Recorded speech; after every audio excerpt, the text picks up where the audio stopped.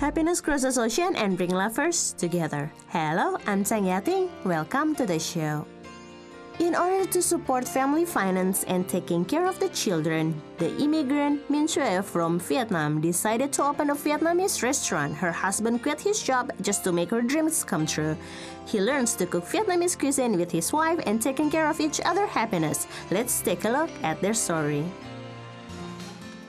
A tiny small kitchen is the working place for Vietnamese immigrant Minh Xuyen and her husband Li Chuan An.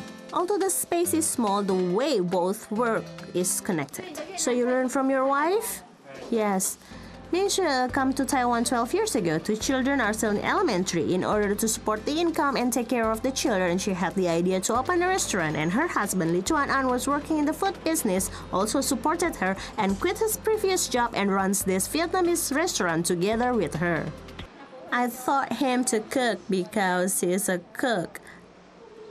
I taught him twice or three times. He's he's okay.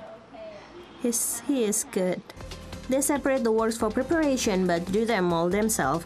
In order to increase more income, he's also responsible for delivery and the flavors been spread by the word of mouth. It's just like a family working all together. Two of us work together. And we still can take care of children on weekend. The feeling of this seems to be better if you work for someone else work hard, stand honest in order to take care of the same family. The happiness of Min Shui and Li Chuan-an is simple and sweet.